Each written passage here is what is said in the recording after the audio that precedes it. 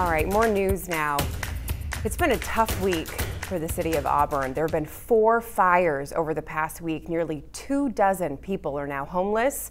No one was seriously injured during the fires, and it's believed the fires were accidental.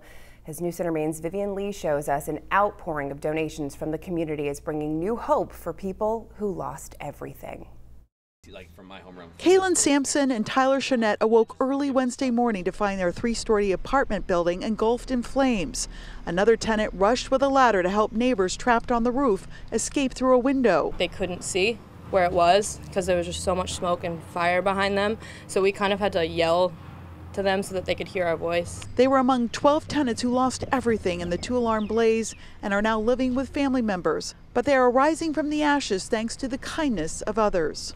Anything you can do to help. Tyler's brother Matt just arrived from New Hampshire with clothes and household items. Tyler, a teacher and coach at St. Dominic Academy, also received furniture and other donations from parents and staff. Kaylin's employer, Hannaford's, has also stepped up to help. A GoFundMe account has also raised more than $5,000. We didn't really expect the outpouring that we're getting, and so it, it was surprising and very emotional.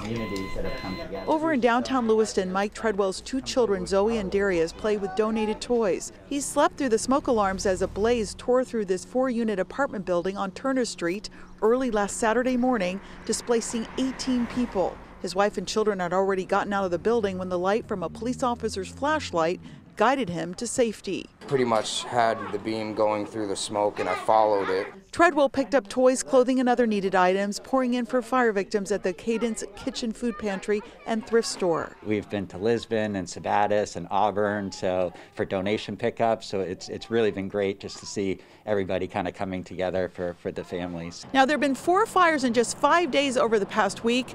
And fire officials tell News Center, though, none of the fires are believed to be suspicious, but the majority were possibly caused by improperly discarded smoking materials. And the dry conditions we've been having have also played a role. More than half a dozen children now homeless attend Sherwood Heights and Washburn elementary schools in Auburn.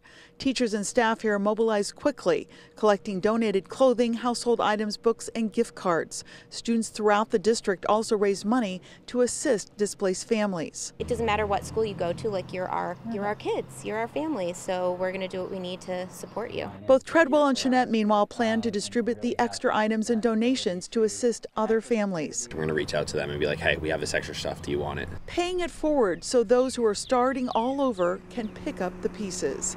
In Auburn, Vivian Lee, News Center, Maine.